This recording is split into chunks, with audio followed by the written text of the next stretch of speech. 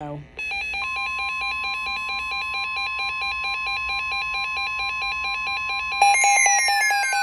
it is.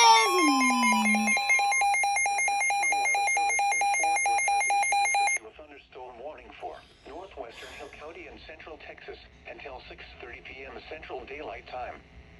At 5:24 p.m. Central Daylight Time, a severe thunderstorm was located over Covington, or 12 miles northwest of Hillsboro, 20 miles per hour.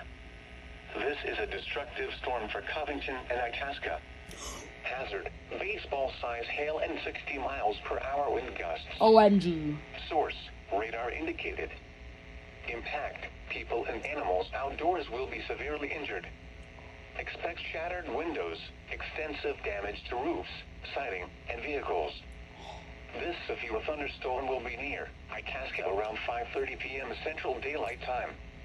Carl's Corner around 5.45 p.m. Central Daylight Time.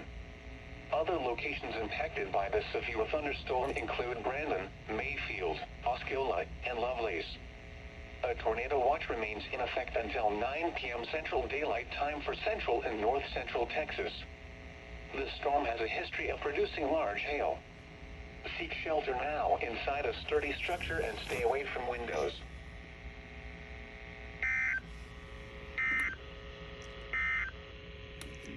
National Weather Service in Fort Worth Holy crap.